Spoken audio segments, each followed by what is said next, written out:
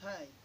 Alam mo ba na, ano, na sa video to, gusto ko lang mag-share na ang sarap pala ng ano, nung umatin ka ng mga Bible study, tapos yung mga ah mga ganung ano, ganung pagkakataon na lagi mo siyang binabasa at nagkakaroon ka ng sharing stories ka. Ah, yung sharing bawat isa. Ah, sabi nga daw dito, ang salita ng Diyos ay ang salita ng Diyos, ang Biblia, ang gatas na espiritu, spiritual na dapat mong inumin madalas. Ang pagkain, araw, pangkain spiritual. Sarap din yung ano, yung yung magbasa ng Biblia araw-araw, pag nininilay, umawit ng awit kristyano, ang Biblia niya.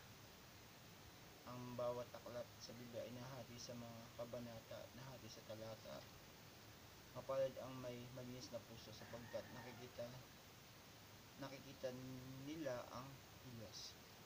Mateo 5:8. Ah, punuin ang mabuting isipan ang iyong isip ang iyong pag-iisip. Huwag kang magbabasa ng mas ano, masasaguang aklat, huwag kang titingin sa masamang larawan, huwag kang titingin sa malaswang kwento. ang aklat ina uh, masarap talaga ng ano nung meron kang naatinan na ganun ano ah meron din naman kasi ano yung sa community kapag member ka ng single score prize o kaya couple score prize sa Catholic ah meron lang kasing mga tao na hindi nila nakikita yung ano yung ganung samahan. Meron din naman sa Catholic noon kung sa born again naman sa Christ- ano ah meron din mga ganung Bible study. May, sa, sa Catholic nga meron din eh. Kaso yung iba hindi nila hinahanap.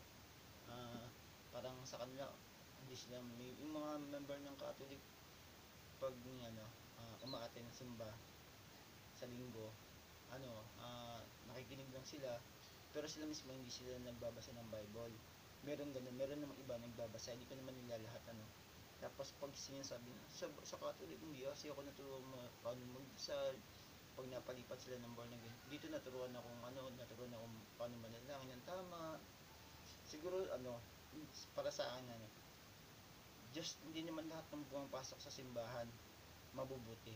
Diyos na lang siguro yung makapagsabi kung kung saan ka talaga, kung mapapupunta ka sa langit o iyak no kasi hindi naman lahat ng pumapasok doon, hindi naman lahat ng tumatawag kay Kristo ay maliligtas. Ah, hindi, hindi mo porke pag kina nabautismohan ka na sa Catholic o kasi sa born again o anumang reliyong inakaniban mo ay pag nabautismo ka tinanggap mo siya hindi ka na pwede ulit hindi ka na ibig sabihin natanggap mo na siya nabautismo tinanggap mo siya bilang yung Panginoon tagapagligtas at nabautismo ka na ligtas ka na kasi dumating naman yung dumating din yung nagkakasala ka na tinanggap mo siya eh.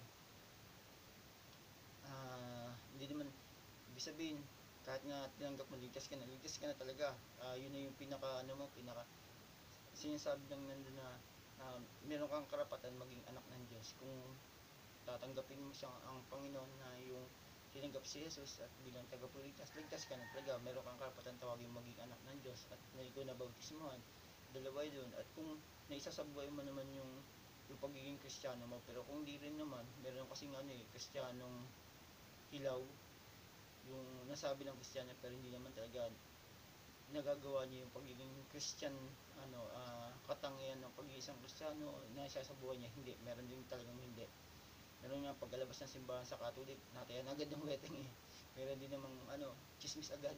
Meron din namang hindi ko man nila meron din naman kahit sa ibang sekta o religion na ganoon din yung pamumuhay. Meron nga din ano na Christian na siya o born again na siya. Nataya din ng wedding di ba? So meron talagang ganun. Hindi naman lahat. Ako hindi ko sinasabing mabuti mabuti akong tao. Hindi ko sinasabi na maayos ako. Pero nakita ko lang na ano, na sa akin yung, yung binibigyan ko lang ng diin na masarap meron kang ano meron kang uh, community uh, meron kang religion o samahan na nagkakaroon kayo ng ano ng uh, yung kalakasan kasi kailangan mo din talaga ng tao. Walang ano walang taong nabubuhay para sa sarili lang. Uh, no meron pag di ba yung mabubuhay ka ng para sa, sa, sa sarili mo lang ang hirap kapag solo ka. Siguro yung binigyan si Adan ng kasama sa buhay si Eva dahil kailangan talaga ng ano ng helper yung bagang kasama sa buhay. Yun yung siguro ano pinaka the best yung love. Yun. Dito sa pagbabasa mo mayroon ka talaga maramdaman na love. Yun kasi yung pag-ibig eh. siguro eh, para sa akin yung, yung simula ng Bible Genesis hanggang sa sa kauli-ulian yung pahayag yung Revelation yung ganun. Lahat na nandun sa loob ng Biblia. Pag-ibig talaga yun eh.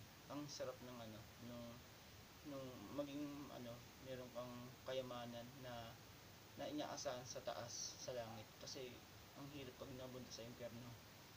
Yun lang and ah, binibigyan ko lang din na hindi naman ibig sabihin Catholic ka. Mabuti ka na o masama ka na. Hindi naman porque born again ka mabuti. Ligtas ka na.